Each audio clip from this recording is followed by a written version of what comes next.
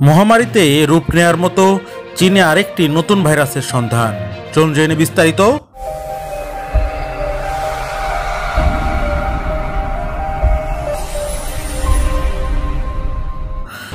বিশ্ব মহামারী করোনা ভাইরাসের প্রাদুর্ভাব এখনও ভয়ঙ্করভাবে চলছে।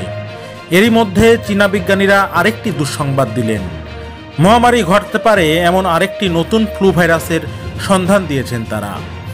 বিজ্ঞানীদের বরাদ দিয়ে বিবিসি বলছে, সম্প্রতি চিহ্নিত হওয়া এই ভাইরাসটি শুকর বহন করে, তবে এটি মানুষকেও আক্রান্ত করতে পারে। গবেষকদের আশঙ্কা, মানুষ থেকে মানুষের মাঝে সহজে ছড়িয়ে পড়ছে ভাইরাসটি। শক্তি সঞ্চয় করে বিশ্বজুড়ে নতুন মহামারীতে রূপ নিতে পারে।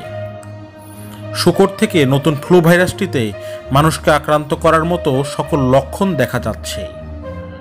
নতুন ভাইরাস হওয়ায় এর থেকে মানুষের সুস্থ হওয়ার সম্ভাবনা খুবই কম বলেও ধারণা করছেন বিজ্ঞানীরা।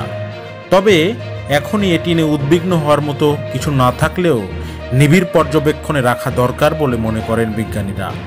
সর্বশেষ মেক্সিকো থেকে ছড়িয়ে পড়া সোয়াইন ফ্লু বিশ্বে মহামারী রূপ নেয় দুই হাজার নয় সালে।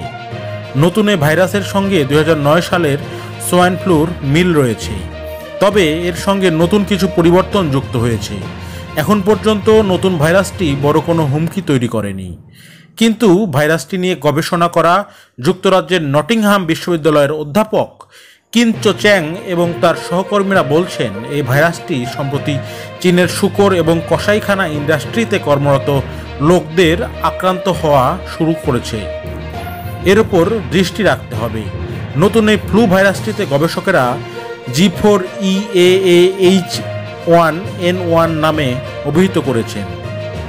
এটি মানুষের শ্বাস, শ্বাসযন্ত্রের মধ্যে বেড়ে উঠতে এবং বিস্তার ঘটাতে পারে।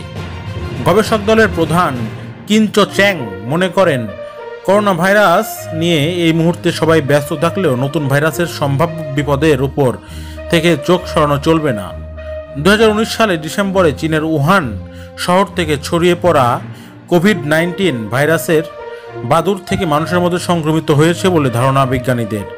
এই ভাইরাস সংক্রমণের মাত্র ছয় মাসের মধ্যে বিশ্বে এক কোটিরও অধিক মানুষ সংক্রমিত হয়েছে, মারা গেছে পাঁচ লাখেরও অধিক মানুষ।